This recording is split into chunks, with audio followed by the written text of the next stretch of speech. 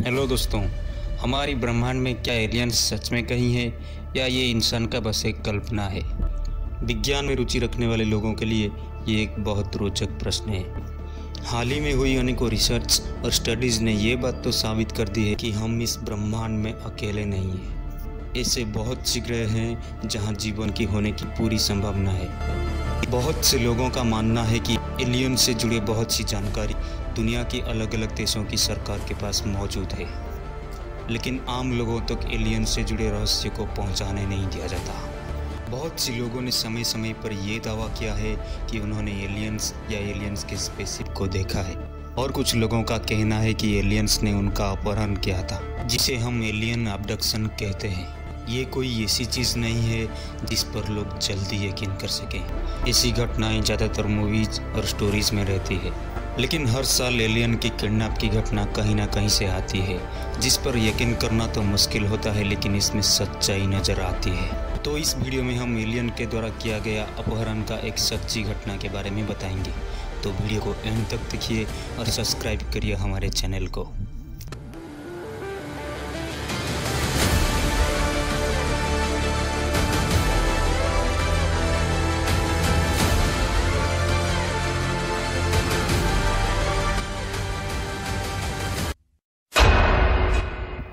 Travis Walton दिन था Wednesday नवंबर 5 1975 Apache Sitgreaves National Forest America में ट्राविस वाल्टन अपने छह दोस्तों के साथ जंगल में काम कर रहे थे।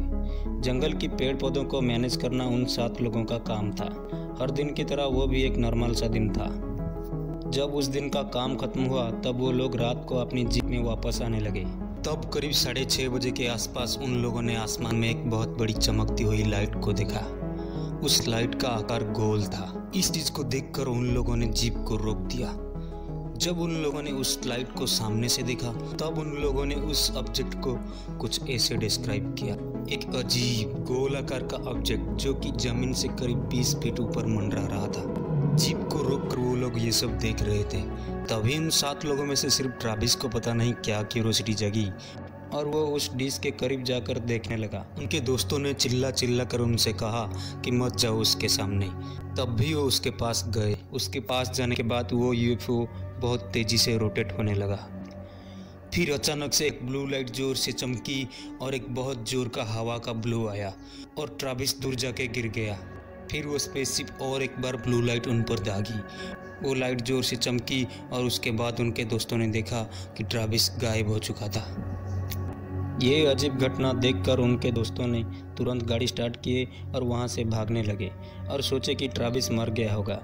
वो चीज़, चाहे वो कुछ भी था, वो ट्राविस को मार चुकी होगी। जाते जाते एक दोस्त ने कार के बैक मिरर में देखा कि एक यूएफओ जैसा कुछ ऑब्जेक्ट दिखा, जो कि आसमान की तरफ़ बहुत तेज़ी से गया। फिर थोड़ी दूर जाने के बाद उनके दोस्तों को गिल्ट फील होने लगा कि हम ट्राविस की हेल्प क्यों नहीं कर पाए? और वो तय किए कि चलो वापस चलते हैं और एक बार देखते हैं कि आखिर वो चीज़ थी क्या। तो वो गाड़ी को रिवर्स करके फिर से वही लोकेशन में गए, जहाँ पे ये घटना हुई थी। तब उन लोगों ने देखा कि उस जगह पर ना ही कोई स्पेसशिप थी और ना ही ट्राविस। सब कुछ गायब हो चुका था। दिन बीतता गया, ट्राविस नहीं मिला। पाँच दिनों बाद ट्राविस को उसी जंगल में बेहोश पाया गया। ट्राविस ने बाद में कहा, वो लाइट मेरे शरीर पर एक हाई वोल्टेज इलेक्ट्रिक शॉक जैसा लगा। फिर मैं बेहोश हो गया। फिर उन्होंने कहा, तब मैंने अपने आप को एक अजीब सा कमरे में पाया, जहाँ पर छोटे कद वाले अजीब से जीव थे और उनकी आँखें बड़ी थी और सर का साइज़ एक इंसान से कहीं ज़्यादा बड़ा था। उन सब की हाइट पाँच फीट के आसपास थी और वो येलो कलर की सूट पहने हुए थे। फिर उन्होंने ट्राविस को बेड पर लेटाया और उनके मुँह पर एक मास्क रखा। जैसे ही उन्होंने उनके ऊपर मास्क रखा, वैसे ही वो पूरी तरह से बेहोश हो गए। और अगला सीन उन्हें जो याद था, वो था कि वो जंगल में गिरे हुए हैं। तब उन्होंने उस यूएफओ का निचले हिस्से को देखा, जिसने उन्हें जंगल में ड्रॉप किया था। उन्हें जंगल में ड्रॉप करने के बाद वो यूएफओ बहुत तेज़ी से आसमान की तरफ़ चला गया। उन्हें ऐसा लगा कि डेढ़ से दो घंटे बीते हुए हैं। और उन्हें लगा कि उनके दोस्तों ने पुलिस को रिपोर्ट कर दिया होगा। और वो इनको ढूँढने के लिए आ रहे होंगे। लेकिन बाद में उन्हें पता चला कि वो पाँच दिन तक गायब थे। इस पाँच दिन के दौरान बहुत सी इन्वेस्टिगेशन की गई। ट्राविस की दोस्तों की लाई डिटेक्टर टेस्ट भी की गई। और उसमें ये पता चला कि उनके सारे दोस्त सच बोल रहे थे। और एक अजीब चीज़ ये हुई कि जिस जगह पे वो यूएफओ उतरी थी, उस जगह पे जो पेड़ थे, वो करीब 36 गुना ज़्यादा तेज़ी से उड़ फाइबर प्रोड्यूस कर रहे थे। शायद यूएफओ की उस चमकती हुई लाइट ने पेड़ को पूरी तरह से बदल दिया था। जंगल की डिटेल इंस्पेक्शन की गई और ये पता चला कि सिर्फ़ उसी एरिया की पेड़ पौधों पर यह अमेजिंग सा असर हुआ है। बाकी पूरा जंगल नॉर्मल था।